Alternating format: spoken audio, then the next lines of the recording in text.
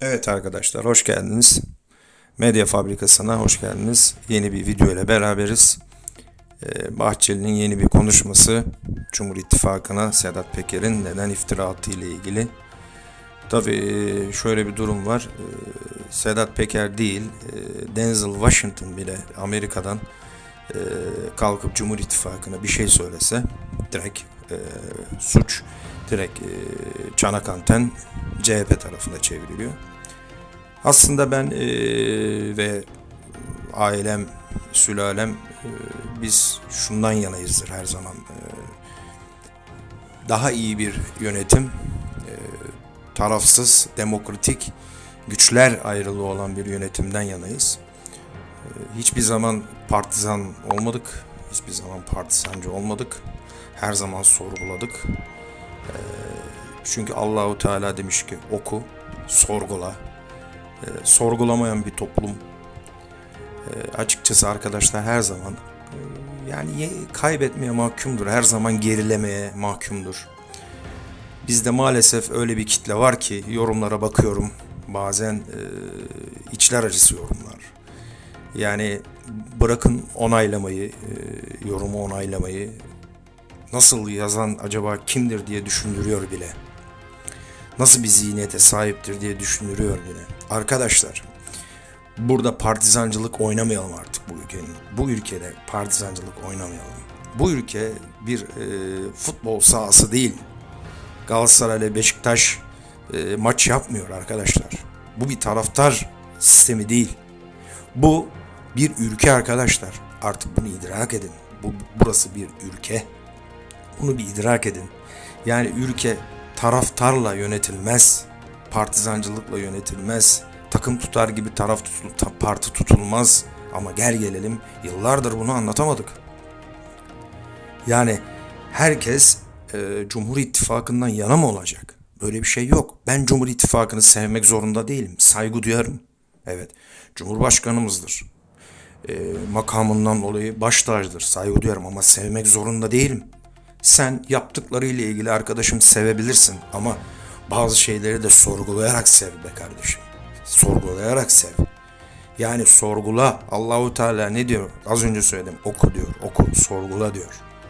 Geçmişte kalma. Geçmişte yok şöyleydi hastanelerde kuyruklar vardı da bu 20 yıl 30 yıl öncesini anlatıyorsunuz arkadaşlar. Elinizi birazcık başınıza koyun düşünün yahu. Bir düşünün yahu. Yani bugün Cumhurbaşkanımız var, yarın başka biri olur. Peki yarın başka biri olacağında herkes onun kayına mı binecek? Bu böyle mi olacak arkadaşlar?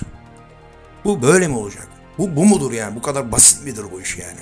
E kalkıp 30 yıl öncesini, 40 yıl öncesini konuşuyorsunuz da bazı arkadaşlara söylüyorum. Peki sen e, şimdi 30 yıl önceki sen sen misin ya? Hiç mi bir şey değişmedi? Değişecek tabii yani kardeşim. 30 yıl önce de geçmişte kaldı artık yani. Hani hep e, şunun peşindesiniz, şunu anlamıyorum. Hep herkes e, Cumhur İttifakı'nı sevecek. Ya arkadaş, sevmeyen FETÖ'cü mü olacak? Sevmeyen PKK'lı vatan haini mi olacak? Ya böyle bir mantık. Allah peygamber aşkına soruyorum yani. Peygamberimiz Hazreti Mustafa Muhammed sallallahu aleyhi ve sellem biz onun ümmetinden değil miyiz? Bizim peygamberimiz böyle bir insan mıydı ya? Böyle ona iftira atan, ona bunu yakıştıran, şunu bunu yakıştıran bir peygamber miydi ya bizim pe güzel peygamberimiz? Allahu Teala böyle bir şeyi kabul edebilir mi ya? Bir vicdanınızı sorun ya. Yani bakkal Mehmet Efendi yolda yürüyor, yolda yürürken 3-4 kişi desek ya bu FETÖ'cü adamın ağzını burnunu kırıp linç edersiniz ya. Ya böyle bir şey olabilir mi ya? Ya böyle bir şey olabilir mi ya? Yani böyle bir şeyi ne Allahu Teala affeder. Yani hiç kimse affedemez böyle bir şeyi. Böyle bir şeyin geçerliliği olamaz ya. Böyle bir şeyin kabul eder, kabul edilirliği olamaz ki ya arkadaşlar ya. Ya bu nasıl bir zihniyet kardeşim ya? Yani Galatasaraylı olmayan herkes FETÖ'cü gibi bir şey oluyor bu ya. Beşiktaşlı olmayan herkes FETÖ'cü gibi bir şey oluyor. Ya kardeşim bu ülkede FETÖ'nün F'sini bilmeyen insanlar var ya. Bir tek resmini görüp hayatında hiç FETÖ, FETÖ'nün ne olduğunu bilmeyen bakkalından eve evden işine giden yeri gelip günü, günü gelip aç kalan günü gelip ekmek parası bulamayan insan var ya bu ülkede. Sen ne FETÖ'sünden bahsediyorsun? Yani bir bellenmiş FETÖ'de FETÖ. Ya bu FETÖ 30 yıl önce de vardı. 50 yıl önce de vardı bu FETÖ be kardeşim ya. Çanak tutmasaydı kimse ya. Tutmasaydınız kimse sadece şey değil yani bu günüm, günümüzdeki iktidarla alakalı bir, de, bir şey değil. Günümüzdeki iktidarla alakalı değil bu arkadaşlar.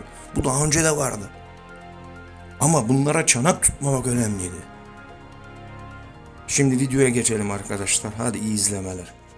Cumhur İttifakı'nın üçüncü ortağının mafya olduğunu söyleyen CHP Genel Başkanı bize kalırsa önce kendine bakmalı. İrtibatlarını gözden geçirmelidir. Terör örgütüyle ittifak kuran bir partinin mafyadan dertlenmesi yüzsüzlüktür.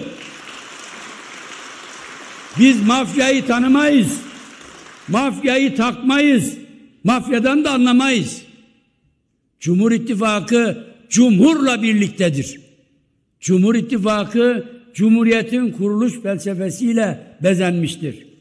Çeteler Cumhuriyet Halk Partisi'nin yoldaşı, uyuşturucu baronları CHP'nin yandaşı, DHKPC, PKK, FETÖ CHP'nin fili ortağıdır. Türkiye terörle mücadelede mesafe kaydettikçe CHP çılgına dönmektedir. İpin ağzını bıçak açmazken HDP'nin şok üstüne şok yaşamaktadır.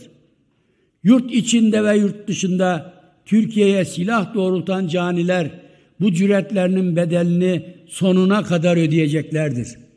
Nerede terörist varsa orası meşru hedefimizdir.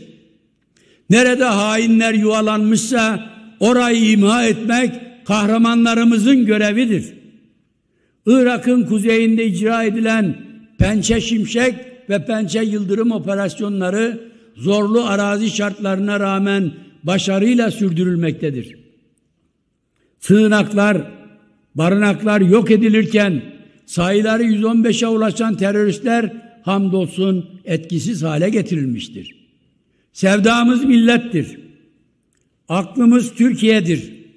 Zilletin terör kadrosuna her yer ya dar edilecek ya da mezar edilecektir.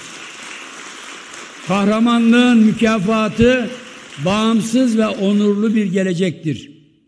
Bu geleceği karartmaya CHP'nin ve yedeklerinin takati yetmeyecektir.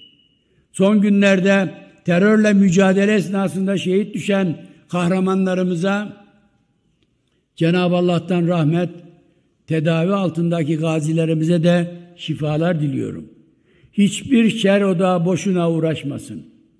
Bayrak inmeyecek, ezan susmayacak, vatan bölünmeyecektir. Bugünkü CHP yönetimi, HDP'nin arka bahçesi, Kandil'in ana kademesi Türkiye düşmanlarının can suyudur. İP'in başkanının HDP ile Kürt kökenli kardeşlerimizi bir ve aynı görme densizliği ise kılavuzu CHP olanın ne hallere düşeceğinin ayan beyan göstergesidir. Bu meczup değerlendirme HDP'yi Kürt siyasi hareket olarak tanımlama fesatının başka bir anlatımıdır. İP siyasetini mağara deliklerinde aramaya başlamıştır. Aynı şahsın HDP üzerinden Kürtlere hakaret edildiğini iddia etmesi ise hem ayıplı hem sakıncalı hem de bölücü bir dildir.